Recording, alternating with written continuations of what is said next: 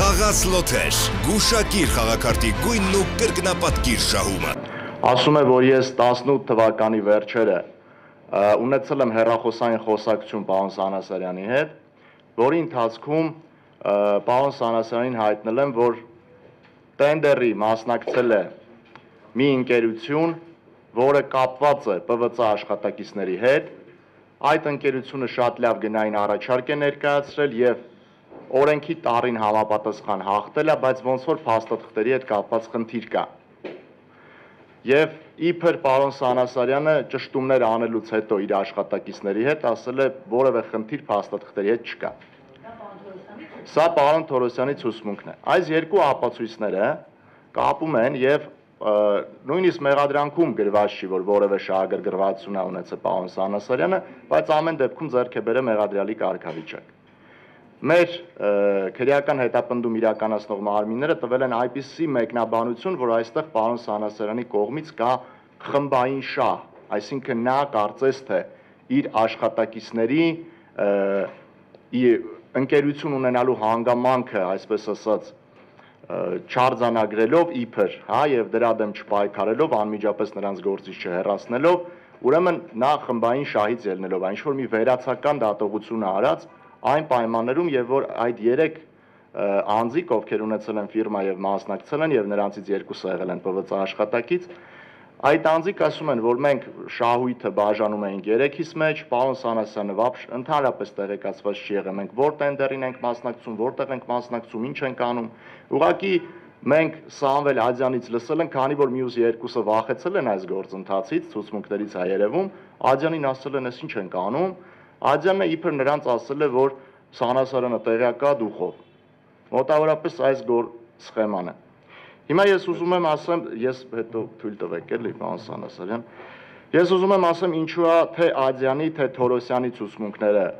ակնհայտ կեղծ, որից հետո ուզում եմ նաև անդրադառնամ, որ մեղադրանքը ամեն դեպքում հիմնավորված չէ։ Նույնիսկ եթե այդ կեղծ ցուցմունքները ընդունենք հիմք, նույնիսկ այդ դեպքում պարոն Սանասյանի գործողություններում ակնհայտ հանցակազմ չկա։ Բայց սկզբից ասեմ ինչու եմ ես համոզված, որ այդ ցուցմունքները կեղծված են։ Սկսենք Սամվել Աջյանի ցուսմունքներից, հա։ Նախ Սամվել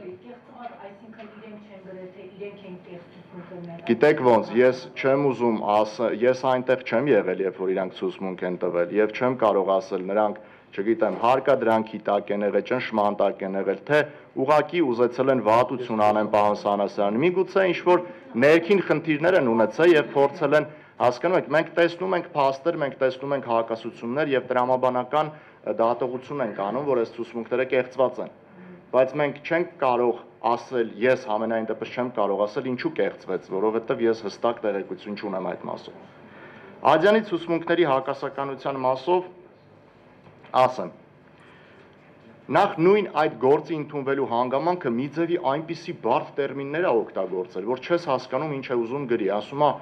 Ես ասեցի, որ ես բիզնես ունեմ։ Պարոն Սանասարյանը ասեց դու պետքա որևէ բիզնեսի հետ որևէ կապ չունենաս իրավաբանական առումով, դա է ՊՎԾ-ի պաշտոնապես կապ չունենաս։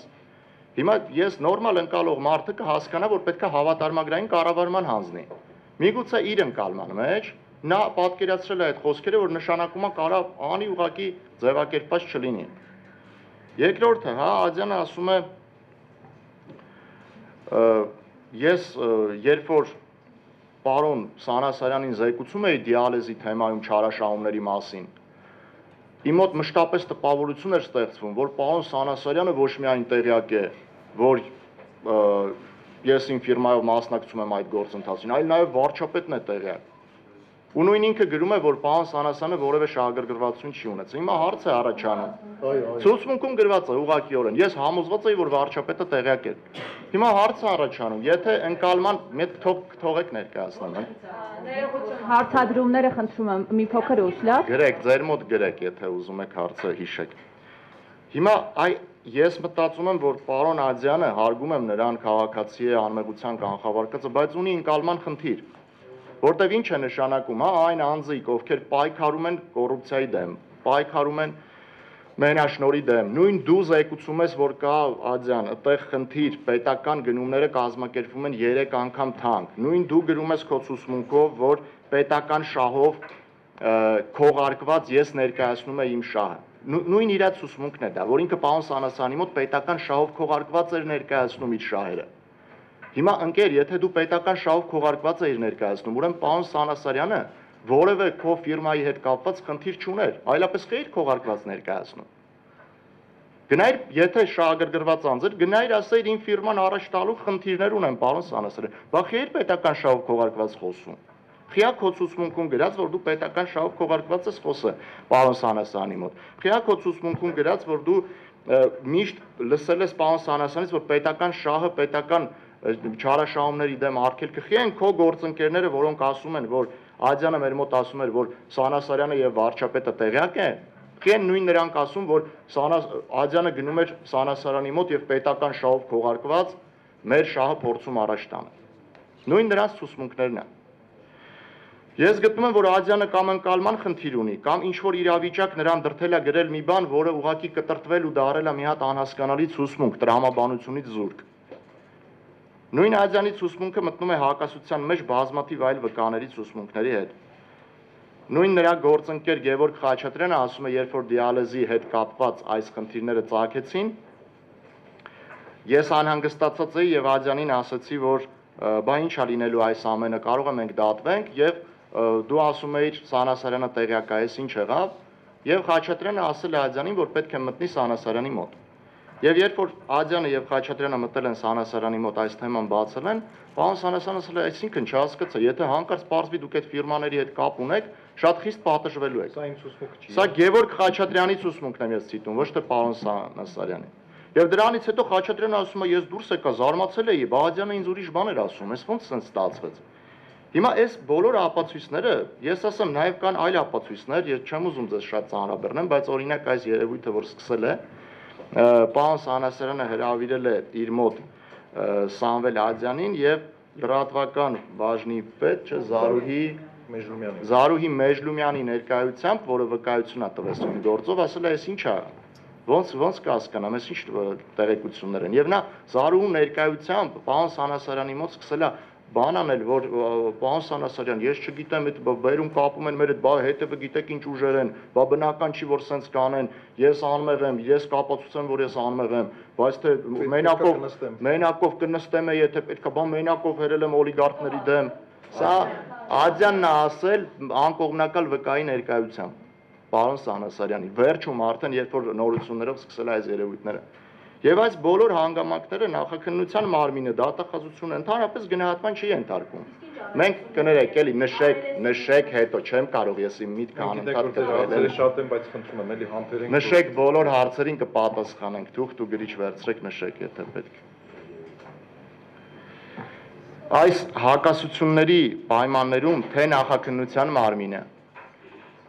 թե հսկող դատախազությունը մեր միջնորդություններին պատասխանում է մերժվում է միջնորդությունը, որովհետև անհիմն է։ Որևէ վերլուծություն չկա այս հարցերի։ Այսինքն ես չեմ ուզում գնահատական տամ նախաքննության մարմնի եւ դատախազության ինչ որ սուբյեկտիվ գործոնների առումով, բայց այն որ ակնհայտ այստեղ դատավարության, սահմանադրության առողջություն եւ մյուս պահանջներին հակասող է նրանց մոտեցումը, այստեղ կասկած չկա, այսինքն նրանք պրոֆեսիոնալ մոտեցում չեն ցուցաբերում։ Նրանք չեն ուզում իրենց վրա պատասխանատվություն վերցնել այս հարցերը քննարկել, վերլուծել եւ օբյեկտիվ պատասխանել։ Այստեղ հետեւյալ հարցերն առաջանում։ Նախ Հարգարժան պարոն Թորոսյանը նշում է, որ եղել է հերախոսային խոսակցություն, որի մասին նշեցի ես։ Դրանից որոշ ժամանակ հետո արդեն 19 թվականի փետրվարի 1-ին տեղի ունենում Facebook-յան գրագրություն պարոն Սանասարյանի եւ պարոն Թորոսյանի միջեւ։ Շատ հետաքրքիր գրագրություն իհարկե ընկերական ոչի մեջ է գրած, ոչ պաշտոնական, բայց երևում է, որ պարոն Սանասարյանը այստեղ մենաշնորհով անհանգստացած եւ 3 անգամ թանկ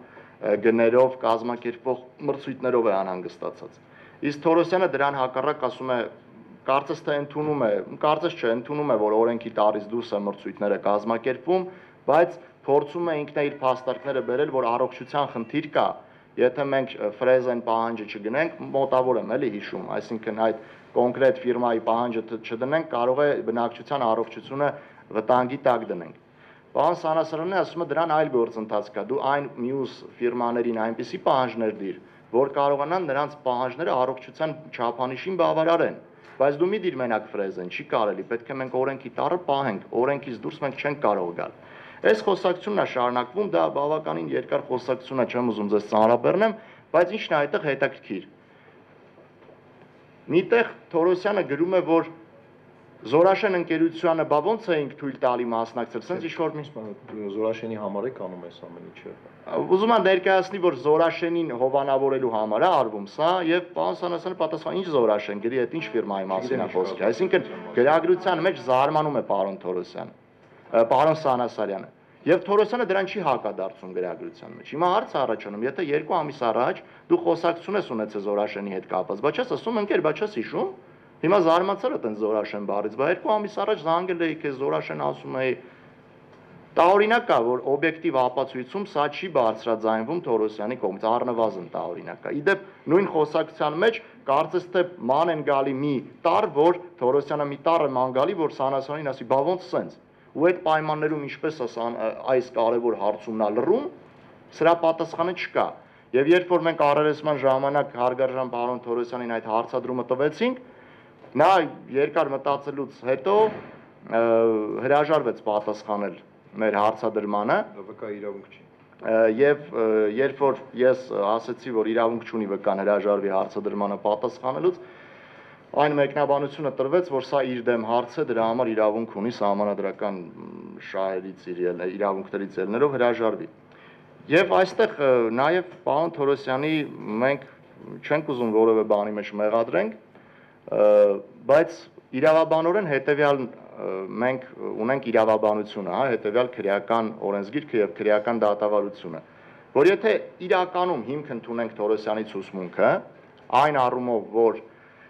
ը, դեռևս 18 թվականին նա զանգել է պարոն Սանասարին, ասել է ՊՎՑ աշխատակիցների հետ կապված ֆիրման, մասնակցել է տենդերին, շահել է, բայց փաստաթղթերի հետ կապված խնդիր կա, եւ դրանից հետո համոզվելով իբր որ այդ փաստաթղթերը նորմալ են, ընդհանցքավորել այդ տենդերը, սա նշանակում է, որ եթե եղել է հանցակազմ, ապա պարոն Թորոսյանը այդ հանցագործության օժանդակողն է։ Այլապես ո՞նց կարող ենք հասկանալ, հա, եթե առողջապահության նախարարը այս գործընթացին միջամտում է, աջակցում է, իմանալով տեղյակ լինելով, որ ՊՎՑ աշխատակիցներն են տենդերին մասնակցում, այդտեղ հանցակազմ չկա, իսկ պարոն Սանասարյանը, եթե օրինակի համար իմանար, որ իր ենթակայության աշխատակիցները մասնակցել են տենդերին, հանցակազմ կա։ Այստեղ ես չեմ կարողանում հասկանամ ինչպես են մեր քրեական հետապնդում իրականացնող մարմինները այս հարցերը բաց թողել։ Ինչու են նույն հանգամանքների պայմաններում մի պաշտոնյայի նկատմամբ քրեական հետապնդում, այսինքն երկակի ստանդարտներ ինչու են կիրառում։ Ես նորից եմ ուզում ասեմ, որ համոզված եմ, որ թե պարոն Սանասարյանի, թե պարոն Թորոսյանի գործողություններում ակնհայտորեն հանցակազմ չկա, ուղղակի խիստ մտահոգիչ է նման ցուցմունքները, որ պարոն Թորոսյանը տալիս է եւ մեր այս մտահոգությամբ որոշեցինք ձեր հետ կիսվել։